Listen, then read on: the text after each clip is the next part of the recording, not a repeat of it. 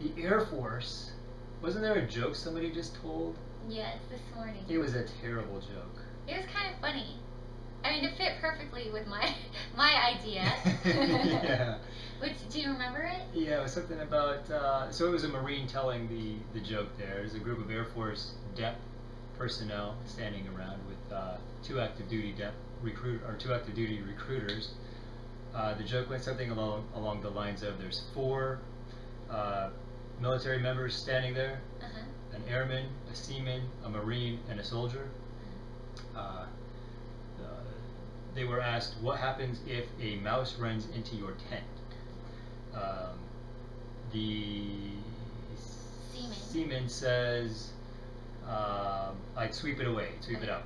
Sweep it out. Uh, the soldier says, "I'd stomp it and kick it out." Uh-huh. And the marine says, I'd stomp it, cook it, eat it, and leave nothing behind. The airman says, uh, that would never happen because I would be in a air-conditioned hotel room. Or something like that. Ah, Yeah. yeah, it's funny. it was mildly amusing. Yeah. So I leave in for BMT in today's Saturday, Sunday, Monday, Tuesday. So two more days.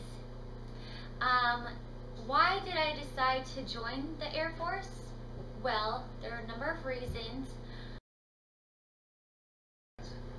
No regrets. No regrets. No regrets. The Um, the number one reason I would say is because I need to be challenged. And I mean, I I feel like I'm doing this whole military thing backwards. So, for instance, most people join when they're maybe 18 to to 21. Um, they're fresh out of high school. They're they're joining so that they could um, get a free college education. Okay, fine. You can stop it now. So we only have two more days together.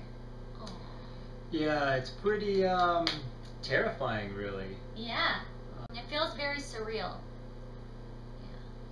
Yeah, it's a an experience that's um, odd because we're a little older hmm and we've already been away from our parents for a number of years. We've known each other for the better part of a decade, hmm and we are doing this together as a interesting journey. Yeah. So I feel like I'm kind of doing this backwards. Most people enter the military like Adam did when he was 18. Yeah, And um, so fresh out of high school, um, and maybe going to try to get their college tuition paid. Um, what else? yeah, to look for an adventure, An adventure to get away from the parents. Um, to show that you're an adult. mhm. Maybe to travel. Maybe to meet uh, a future spouse. Um, so we're so I'm older, and I've already kind of done all that. I got the degrees. I had the the career in accounting, um, and so I'm doing this for more of a personal adventure before I reach that age where I can't anymore because of maybe physically I hurt myself or something like that. Um, yeah. Yeah, I, I don't know. I mean, I'm sure that people will still be inviting and we all have to work in a team environment, but um, I don't know. Maybe I might have like old people cooties or something. no one will want to talk to me because I'm the old person. But I doubt that's going to happen. Um, I think it'll be good physical and mental challenge. Physically, you know, I can always use improvement, um, build more muscle and speed and all that. Mentally, I'm going to be an Intel analyst, so that'll be very challenging. yeah. And you know what? I've always enjoyed school. So the longer the the tech school, the better for me. Plus, the longer ones I get to go as a dependent. Yay! So realistically, we're only going to be separated for about eight weeks hmm And we've done that before because in the summers. in the summers, I'd go uh, back to back to Colorado uh, for an Air Force for actually an Air Force internship Mhm. uh, where I worked as a help desk support specialist. Yeah, so we've already had that time apart. He'd go away for like two, three months in the summer. So we're used to that, and I don't think that's going to be a problem for us. Um, and the fact that we've been together for so long. Yeah, Um, the opportunity to travel. I- I feel like this is a good time to do it. I, I think like a lot of friends and family are kind of wondering where we are on the baby front since we're getting to that age. yeah. right? And um, you know, I've had a lot of good opportunities with the school district. I really had a lot of fun there. I learned a lot. I met a lot of cool coworkers, but I just kind of pictured the the long term um, doing that for 30 years, and I just could not wrap my head around. And I felt like if I if I was pregnant you know, I would be maybe in the back of my head saying, well, I kind of wish I did have another opportunity. Um, and I don't want to, I don't want to live with regrets and, and, right, it sounds kind of cliche, but you only get one shot at life and I want it, I want, I want to be challenged and excited and, On, a, on an adventure. Yeah, on an adventure. It's us, not you.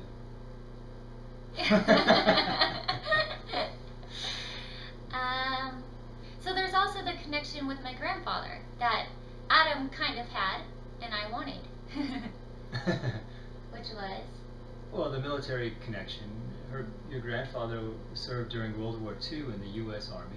Was a Purple Heart recipient during the Rome Arno campaign, and he and I um, connected on, on a completely different level than family can because we have a set of shared experiences through the military. Even though there's 70 years apart, uh, there were things that we did that were common to both of us. That, um, uh, for example, basic training is something that's very common among all soldiers, airmen, seamen, Coast Guard. Everybody goes through basic training, and they all can talk about some some story or some instructor that uh, had it out for them. Um, so even though we lived in two completely different eras, there was still a, a connection of some sort. yeah, and we started this right before my grandpa passed away. We started really considering the Air Force and talking about it and talking with the recruiter. But unfortunately, we didn't get to talk to him about it. Yeah. He didn't get to see me graduate or anything because he passed away almost two years ago now. Even though he said he was going to live till 100. Yeah, I was shocked. I was honestly shocked that he did pass away. Yeah. But so that was another reason just to have that connection with with my grandpa. Um, travel, a challenge. Um, It offers, I think, too stability. I mean, even though you know we were very stable with the school and with uh, the careers that we chose, I, I, I think that the military kind of offers the ability to be a little adventurous, be a little wild, while still saving for retirement through their pension plan, and you still have a job. I mean, you got a four-year contract that would be pretty tough to get you out of. So hopefully we like it. yeah. So I think those are the pros, right? The those are all the good things that we're looking forward to. yeah. Um, um, well, I am nervous. I think that um, my age does kind of does kind of play into my doubts. Um, I know a lot of the people that I'm going to be with are maybe going to be a decade younger than me. Um, so, and then they have more energy. I think um, they're faster. They think faster. They can react faster. So that's a, that's a concern I have is my age. Um, what else?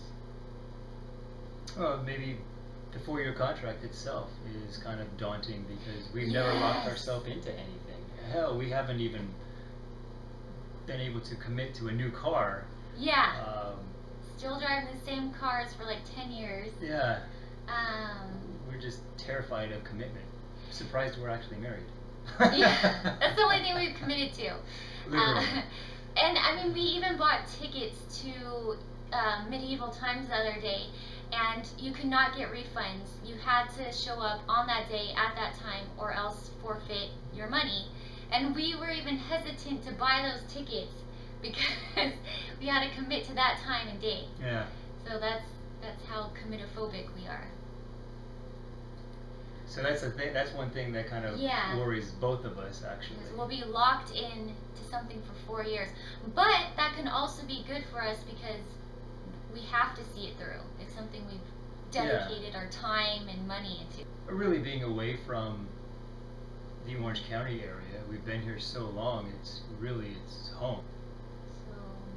Being outside that comfort zone can be scary. Yeah. Mm. And then you know also also the pay. I know that um, certain the base pay is taxable, and then the BAH and BAS is not. But when you add all those factors in, and it, I mean, I think uh, it's less than what I was earning, for sure what you were earning. Um, two is Well, you you were telling me um, when we first started this back in 2014 uh, that um, you wanted a, a deeper connection to your grandfather. You kind of wanted to uh, experience a military uh, lifestyle so that you have something to talk to your grandfather about. Yeah, because he was always, I knew he was always there at every like function, family function, graduation, birthday, holidays. He was always there, and um, but to just be able to connect with him on a different level was was what I was looking for. But unfortunately, he passed away, so I never got to do that. It's almost two years now. Yeah. But yes, because I saw him um, interact with Adam, and they had that the shared stories and uh, and all of that, and that's that's something that I wanted to to participate in too.